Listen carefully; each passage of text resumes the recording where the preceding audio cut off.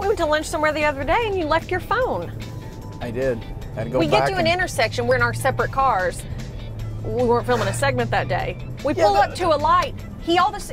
I'm behind him. He just gets out of the car, and I was like, "What are you doing? Is he trying to do a fire drill? What are we doing?" He gets out and just goes, "I left my phone."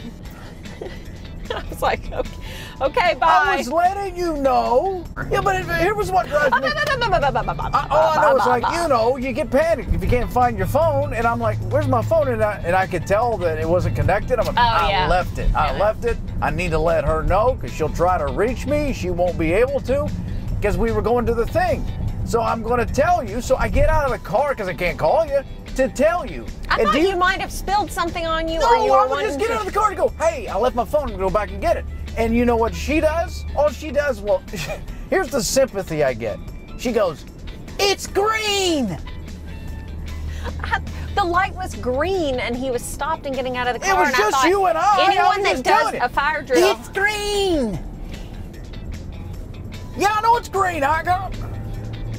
You could have said, what's wrong? That's what I thought you would say. That would imply that I worry about you, and I don't, because that Obviously. implies friendship. Obviously. Yeah, I no know. way. I know. I just I don't know why I keep hoping that at some point I will find a spark of humanity and sympathy and you will reach out and you'll go, "You know what? You're not a bad fella." Instead, I'm you treat me as if I'm an object. Hmm.